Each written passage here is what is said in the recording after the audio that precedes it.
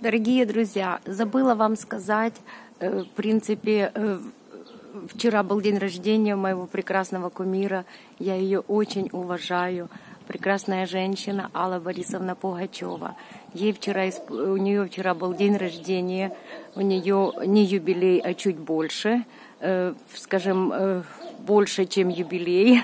Вот. Но эта прекрасная женщина, хотелось пожелать ей ей здоровья, успехов, э, долгих лет жизни, потому что это умничка, которая э, сама пробила э, в свет себе дорогу, молодчинка, она всего добилась сама.